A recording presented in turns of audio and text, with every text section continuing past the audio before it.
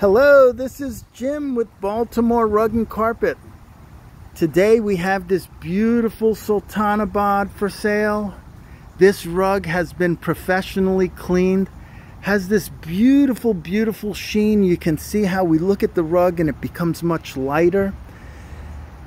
Very nice rug, very well made. This one here is a Chobi Sultanabad, which means that it's sort of like the copy of a copy. The original Sultanabads were, you know, 1800s. You're looking at a rug that's probably $100,000, $150,000 with the original Sultanabads. Then a company came along and started reproducing them.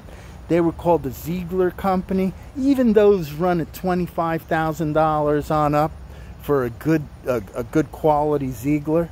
And then you have the Chobi Sultanabads. This here is a Chobi very high quality rug very dense. The feel of the wool is very dense rug. It's not a thin rug.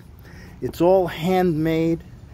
Very interesting rug. The pattern is beautiful. The rug is in very very good shape almost excellent shape if you were to ask me. Nice pattern very subdued now we're moving over to what we call the dark side of the rug. So you can see that you have this darker, darker look where the other side it was much lighter. Now this rug would be quite pricey of a rug typically. But if you look right around here, you're going to notice a little white spot.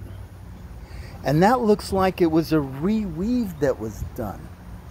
Now that reweave is real hard to see. And in fact, I'm gonna put a little bit of dye on it so this way it won't even be noticeable. But the reweave was done very, very well. Super high quality reweave. You can't tell from behind unless if you look really close. So somebody spent some time to fix this rug, make it look really great because it is such a spectacular piece. Again, you're looking at a Chobi Sultanabad. Very, very nice, thick or dense feel, feel to the rug. Very well made. No discrepancies except for the reweave that it had. Other than that, the rug really looks spectacular. Consider this to be a rug that's in excellent shape because it truly is. Uh, the only way that you would see that reweave is with an extremely careful inspection. And honestly, I never even noticed it until then. So again, take a look, consider it. If the colors work, it's a great rug to buy. Chobi, Sultanabad, all handmade, wool, great shape. Consider it to be a spectacular piece and very hard to find rug. Very bright colors. You're looking if you want to brighten up a room this here will do it. When we wash the rug the the dyes don't bleed. They're very high quality dyes.